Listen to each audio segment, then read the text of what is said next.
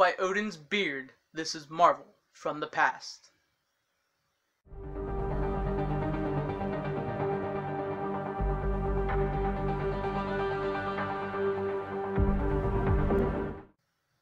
Hello, fellow fellowers, and welcome to FanZcene. Today we will be discussing the 1988 TV movie The Incredible Hulk Returns, which sees the return of Bill Bixby as Dr. David Bruce Banner and Lou Ferrigno as the Incredible Hulk, and introducing Eric Allan Kramer as the, the Mighty Thor.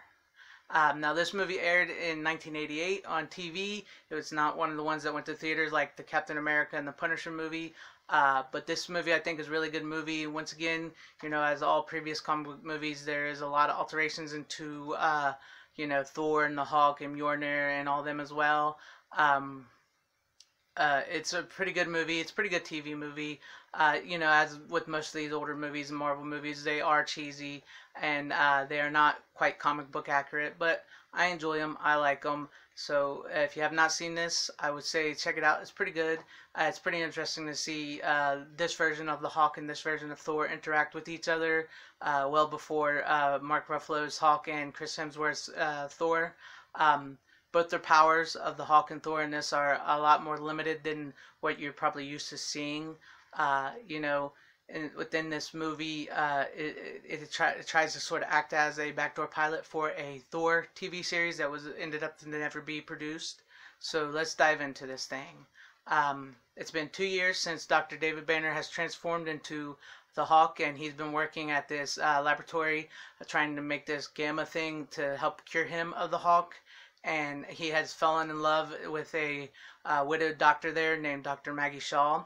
And uh, you know he's been living a quiet life you know trying to work on this and found love and everything. And then uh, one of an old student of his uh, recognizes him his old student being donald blake who is also from the thor comics. Uh, now in the original thor comics donald blake and thor sh- shared the same body and they would switch with due to a magical cane in this uh, donald blake tells dr banner um, that on an expedition to Norway, he came across a powerful ancient uh, Norse hammer, Mjolnir, and uh, with it, when he picked it up, he he came in possession of Thor. And this, it, once he holds the hammer and he uh, calls for Thor, Thor shows up and Thor has to do his bidding. Uh, so, and he's trying to have get Doctor Banner to help him out with this, and uh, so he shows him this, and he and you know the the hammer in this uh, Mjolnir is not beholden to the enchantment of uh, whosoever be worthy uh, shall wield the power of Thor. And this it, anybody can pick it up. Uh, like I said, not comic book accurate. So like he calls upon Thor to prove to Doctor Banner, uh, you know, how how this happened and Thor and everything. And Thor shows up and he's you know he's arrogant, he's cocky, and he starts uh, basically picking on uh, Doctor Banner, and uh, he ends up making him turn into the Hulk, and he thinks it's a green troll, and they get into a big fight, and it set back it sets back uh, Doctor Banner's work uh, over these years trying to you know cure himself, and so he you know he gets mad and. Um, you know, he tries to get rid of Blake and all them, and uh, uh, so you know that happens, and then Donald Blake and uh, Thor end up in a bar uh, talking about what they want to do, and uh, you know um, talk about maybe Thor using his powers to uh, be a hero and everything, and meanwhile.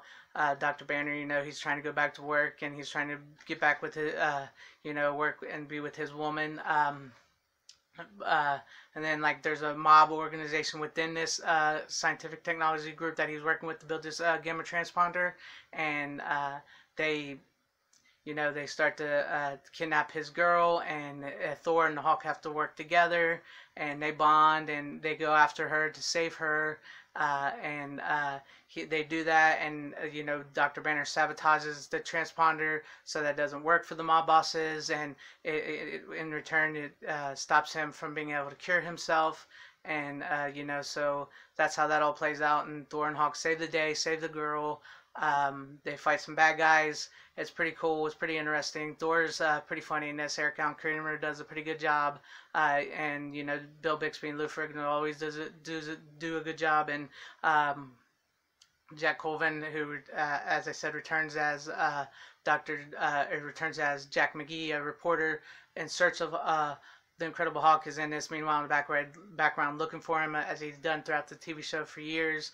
Uh, he's basically their General Ross of the show, and he never, you know, he never gets close to the Hulk. He, it's like he's almost there, but he never does, and he's uh, he's sort of, you know, ridiculed ridiculed by his publishers and everything for what he does. So he's there in the background, and uh, so you know, at the end of the end of the events, uh, you know, Donald Blake and Thor go on their way.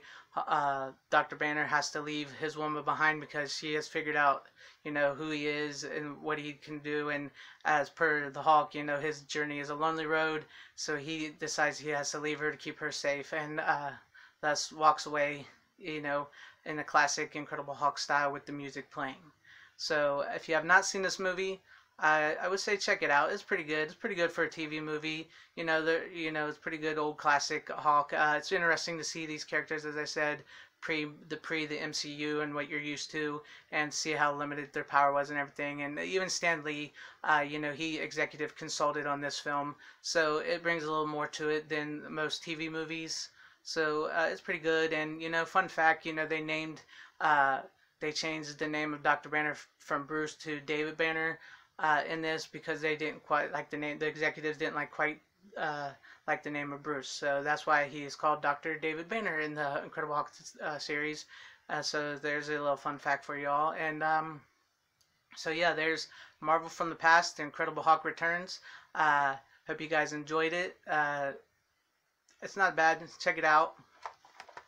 There you go. Check it out.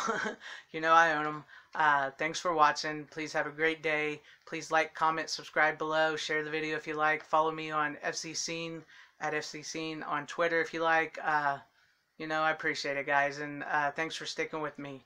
Godspeed and thanks for watching.